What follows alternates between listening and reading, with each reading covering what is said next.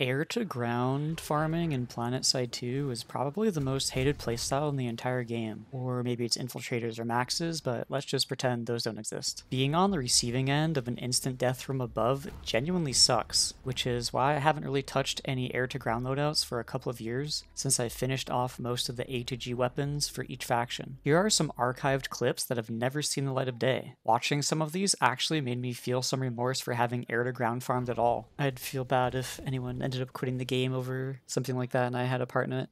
Regardless, I hope you enjoy some of these filthy and terrible clips from years ago. I'm sorry for my past actions, everyone, and I hope you enjoy. I regret everything I've done.